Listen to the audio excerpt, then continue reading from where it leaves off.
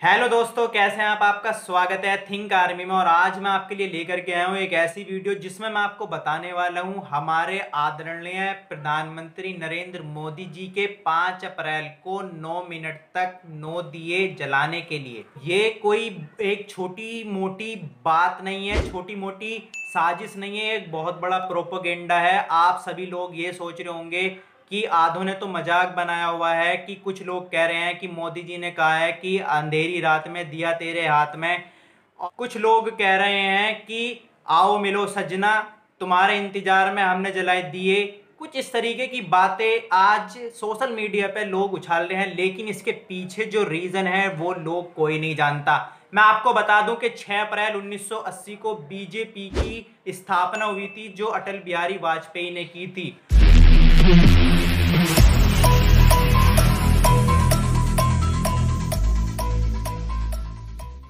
आज 5 अप्रैल 2020 को बीजेपी के पूरे 40 साल हो गए हैं तो ऐसे में 5 अप्रैल बीजेपी के लिए एक जश्न का दिन है, यानी कि उनके लिए एक सिल्वर जुबली से कम नहीं है, बड़ी अपॉर्चुनिटी है।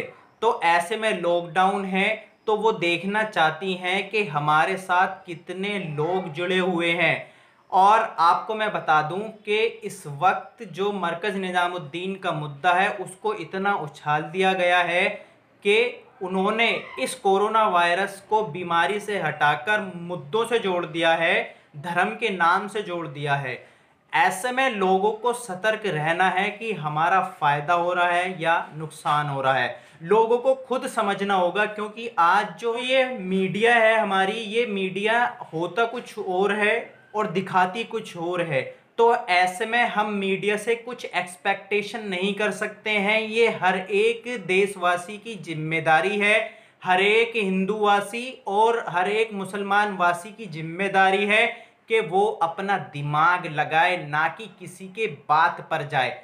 ऐसे में लोगों को जो सबसे ज़्यादा दिक्कत हो रही है, गरीब इंसान को हो रही है लॉकडाउन चारों तरफ़ हो गया है, सारी रणनीतियाँ फेल हैं हेल्थ केयर को लेकर के एजुकेशन को लेकर के डॉक्टरों को इक्विपमेंट्स नहीं मिल पा रहे हैं, जो आज हालत हमारे देश की हो गई है, इस हालत में हमारे जो डॉक्टर्स हैं हॉस्पिटल्स हैं, वहाँ पर वेंटिलेटर अवेलेबल नहीं है अभी तक, वहाँ पर मास्क नहीं अवेलेबल है, वहाँ पर सैनिटाइज़र पूरे इनफ नहीं है। और जो हमारी पुलिस है, जो चारों तरफ़ बेचारी काम कर रही है, उनको भी प्रॉपर तरीके से मास्क नहीं मिल पा रहे हैं सैनिटाइज़र अवेलेबल नहीं हो पा रहा है। और यहाँ जो हमारी देश की जो सरकार है, हमारे मोदी जी अपने 40 साल पूरे होने के उपलक्ष्य में लोगों से दिए जलवा रहे हैं। लोग जो है, इसको एक दवाई के रूप में ले रहे हैं, लेकिन उसके पीछे जो साजिश रची गई है, इसके पीछे जो लोगों का मकसद है, सरकार का मकसद है, लोग उससे बाखबर हैं।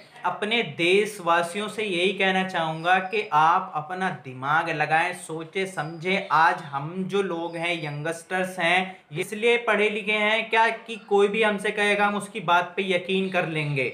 क्या हम इसीलिए पढ़े थे कि कोई भी हमसे कुछ भी कह करवाएगा, हम वही करने लग जाएँगे।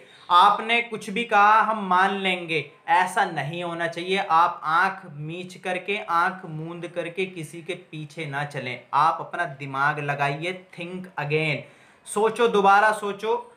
क्योंकि इसके पीछे हमारा क्या फ़ायदा है, क्या नुकसान है? अगर एक इंसान ये नहीं जान सकता है तो वो कुछ नहीं जान सकता है। वो अपना कुछ भला नहीं कर सकता, अगर उसे ये समझ में नहीं आ रही कि मुझे इस काम को करने में मेरा भला होगा या मेरा नुकसान होगा, अगर वो इतना नहीं जान पा रहा है तो उस वो यूजलेस पर्सन है, उसका कुछ नहीं हो सकता, ना उसका भगवान कर सकता है, ना अल्लाह कर सकता है।